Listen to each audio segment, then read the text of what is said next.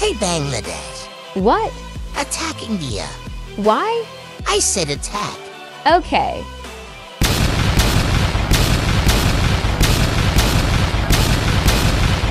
Wait, why we are fighting?